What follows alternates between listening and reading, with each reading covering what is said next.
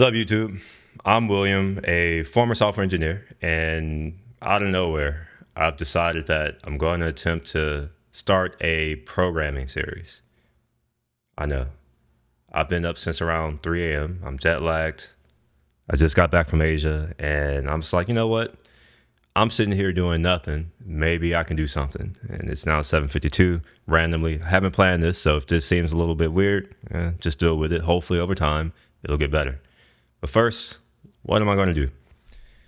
The goal is to teach you all TypeScript, but I do understand that TypeScript is a little bit more advanced, especially for people who have no idea what programming is. And that's the audience that I'm intending this uh, series to be for. It's for people who don't even know what a programming language is.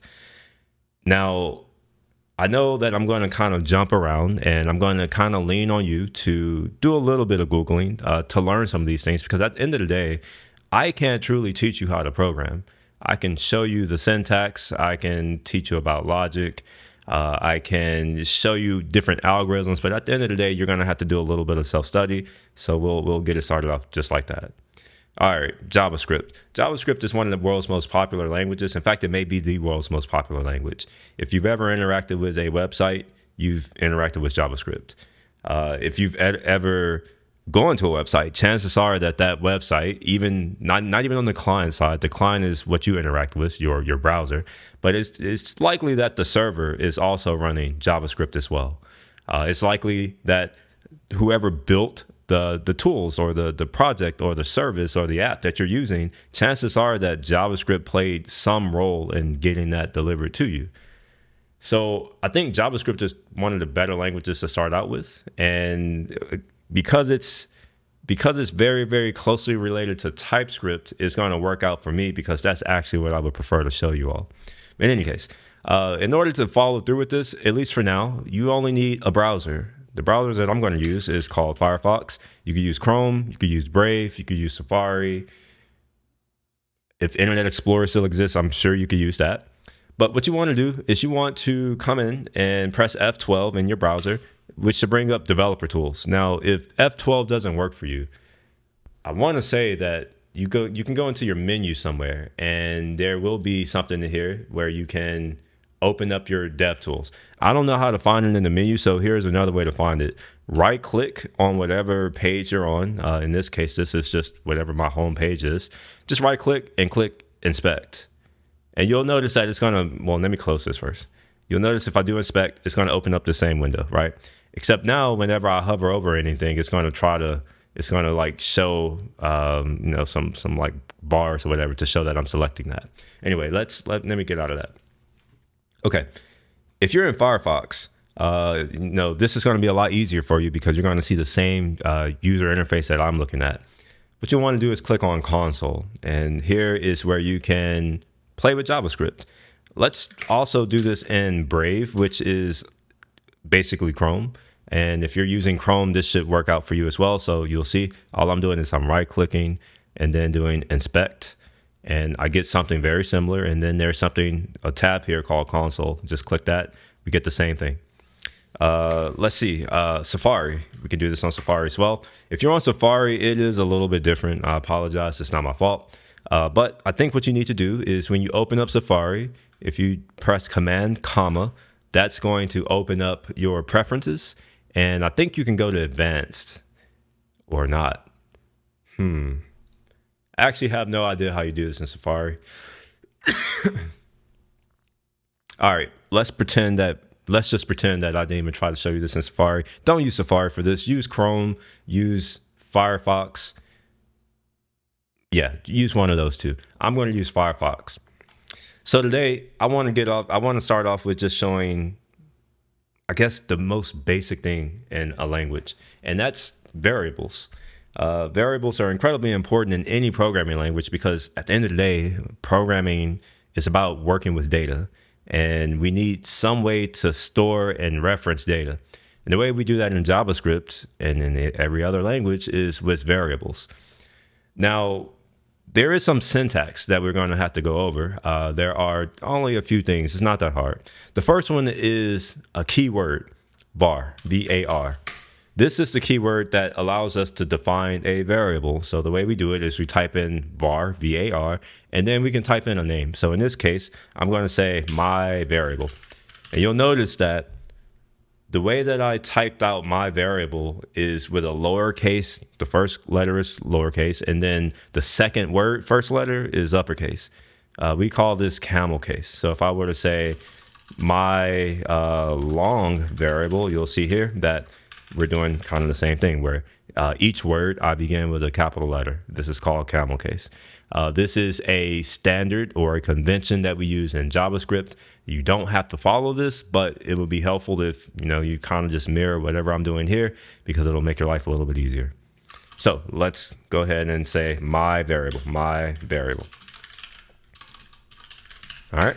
Now you'll notice that after this, I put in a space. The space is actually optional, but uh, I'm going to encourage you to do exactly as I do. Uh, just put a space. Um, so we're going to do space equals. Now, this sign we know as equals uh, because in, in, math we, we see that you know we, we call it equal. However, in a programming language, uh, this is not actually a equal sign or it's not equal. It's not an equality operator. It's actually an assignment operator. So it allows us to assign whatever's on the right side to that name that's on the left side. So uh, my variable, I'm going to set equal to five, right? So when I press enter, what I'm going to do, or not what I'm going to do, what JavaScript runtime is going to do is initiate this variable and put the value of five inside of it. So we'll just do that, right? We get back undefined. You can ignore that. Uh, this is because we're in something called a REPL, a read eval print loop this right here is just showing that, hey, whenever we ran the statement, it didn't return anything. You can ignore that for now safely. Let's see if this actually worked. My variable. Look at that. We get five. All right. So that's one way that we can create a variable. Uh, I'm going to show another way that we can create a variable. Uh, and I'm not going to get into the details of when you should use which at the moment. I just want to introduce it so that when we eventually get there, it's not foreign to you. So the second way to create a variable is with another keyword called let, L-E-T. Same concept here. We're going to type in the keyword followed by a space, followed by a name. So we'll say my other variable. Again, I'm using camel case. All right, we're going to set this equal to something else. Let's set this equal to a string. I'm not going to get into what a string is yet, but I want to introduce it. My name is William, so I'm going to say uh, William. Now I've defined my other variable, and if I were to type that in, we get back William. Okay, so far you've seen two ways to define a variable. You've also seen how to assign a value to a variable. And you've also seen that we can put different types of data into a variable. There is another type of variable that we can create, and it's actually kind of weird because I'm going to call it a constant. Uh, and you can think of it as a read-only variable in that we define it at runtime, but we can't change it. I don't want to get into the difference between a true constant and a constant variable in, in JavaScript. So for all intents and purposes, let's just call them read-only variables. The way that we create that is we use another keyword, const, C-O-N-S-T, followed by a space. This time I'm going to call this my constant variable, or we're not going to call it that. We're going to say my read-only variable. Cool. Let's set it equal to something. Let's set this equal to false. This is a Boolean. There are only two possible values of a Boolean, true or false. We'll get into that later.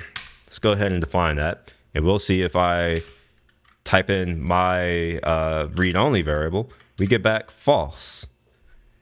So you're seeing three different ways of creating a variable.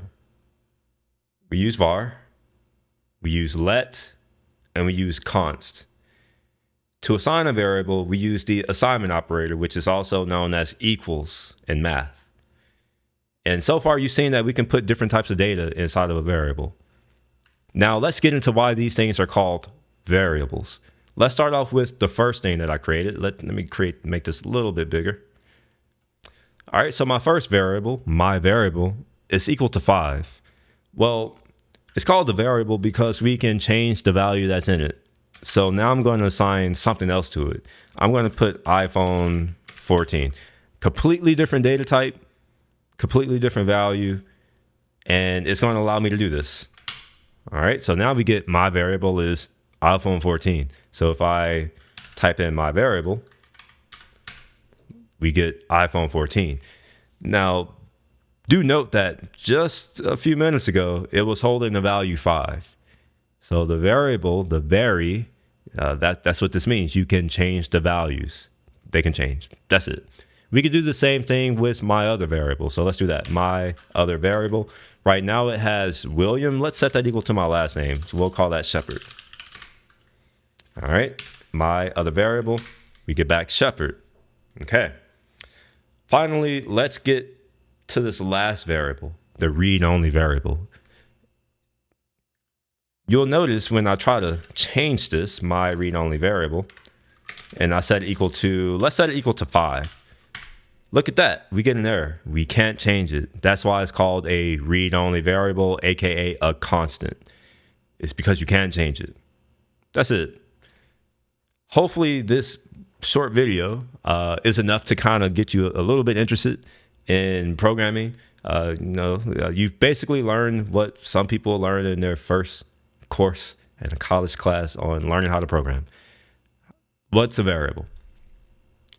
In my next video, I'm likely going to go over types and I will likely also go over the different operators. Right now, you've only seen uh, one operator, the uh, assignment operator, and you have seen a few types. We have this type, a number. We have this type. We call these strings. Anything in double quotes or single quotes is a string. And you've also been introduced to this type, a Boolean, which only has two possible values, true and false. We'll go over the other ones in a little bit more detail in another video. But for now, I want to go ahead and get this uploaded because this is a goal for me. I, I literally just decided like literally an hour ago that I'm going to do this video and I'm going to upload it today. So please, you know, hopefully, hopefully this has been helpful. Uh, if you have any questions, please just leave the comments. I will respond to every single comment and uh, do expect these to get a little bit better over time each and every video, uh, up until the point to where like they become almost professional level. But for now, peace.